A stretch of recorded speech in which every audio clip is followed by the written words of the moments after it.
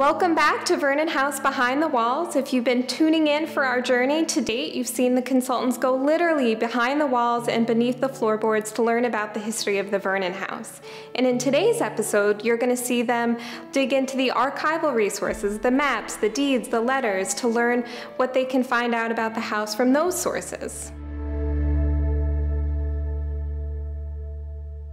An important part of uh, any investigation of a building is the historical development, uh, its origins, uh, who lived in it, who built it.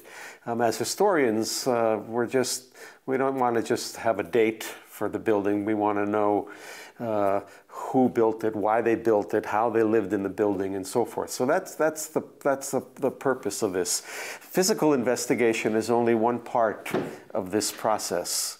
Uh, we've already talked about that in the past, but an important component of that uh, is the documentary record. You know, here's an interesting deed that's written on parchment.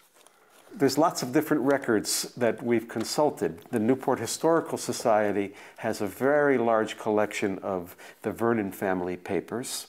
Uh, some are also uh, uh, stored at the Redwood Library. So we've spent some time there and we'll spend considerable more time. Account books, correspondence, uh, deeds, and so forth.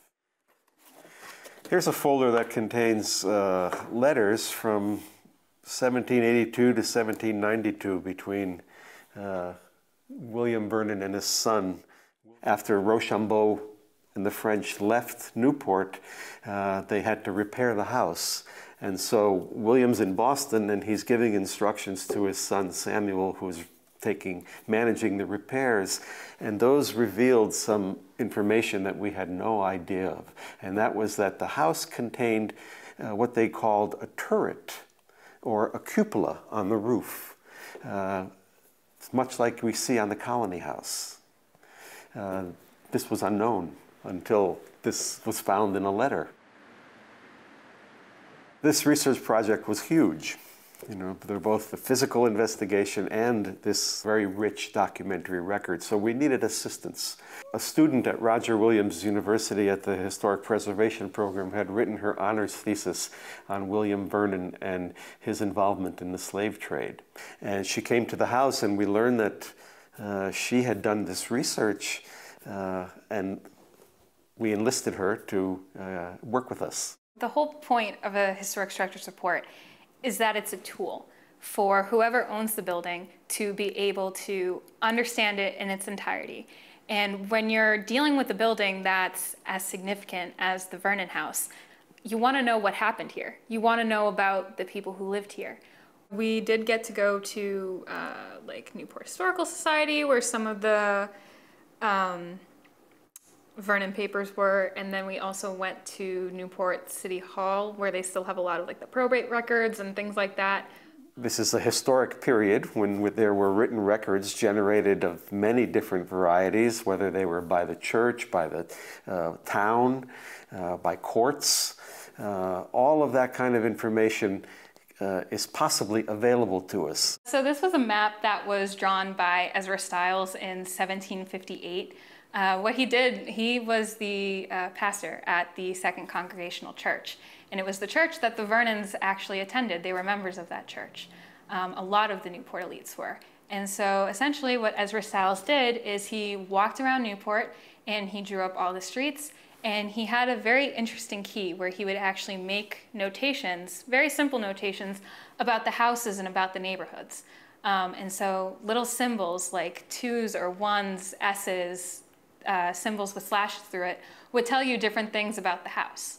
Um, and so this one is, right now I have it zoomed in looking at uh, the corner of Mary and Clarke Street. And so you can see where the Vernon house is, uh, there's a two on there, no slash through it. So essentially what that tells us is that the Vernon house was a two-story house when this was drawn in 1758, and it had only one chimney, which is very different than what it is now, because now we have two chimneys, uh, as opposed to the central one that you would have expected to see. Through those kind of records, uh, we can begin to understand sort of the historic evolution of the building, combining that with our physical investigation, uh, uh which adds a lot.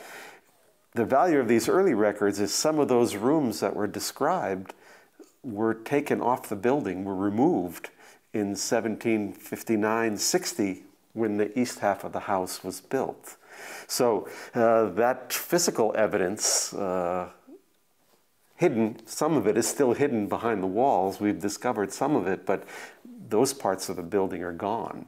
And I think what the Historic Structures Report does is that it allows us to look at, yes, what has to get done physically to the building so that we can preserve that history, but then how do we interpret that history? How do we share that history with the general public? How do you um, make sure that all those voices are represented?